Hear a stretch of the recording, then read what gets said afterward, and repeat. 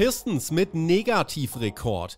Die Detroit Pistons haben einen neuen Rekord aufgestellt. Durch die 112 zu 118 Niederlage gegen die Brooklyn Nets in der vergangenen Nacht haben die Pistons nun 27 Spiele in Folge verloren. Kein Team in der NBA-Geschichte hat jemals so viele Partien in einer Saison hintereinander abgegeben.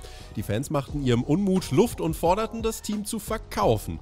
Einziger Lichtblick für Detroit war Kate Cunningham. Der Point Guard verbuchte 41 Zähler, hatte jedoch kaum Hilfe. Von den restlichen Spielern erzielte einzig Bojan Bogdanovic mehr als 20 Punkte.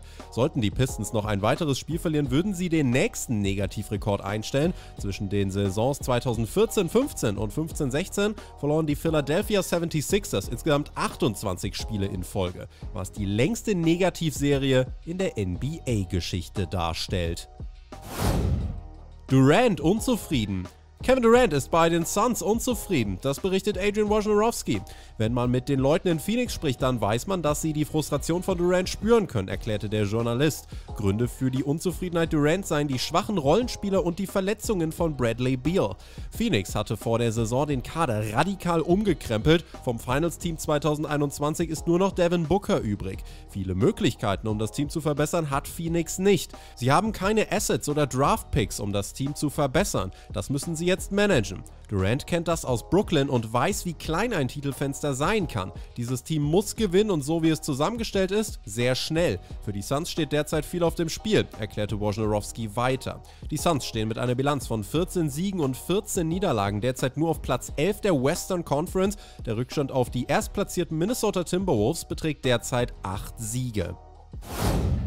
Meilenstein für Doncic.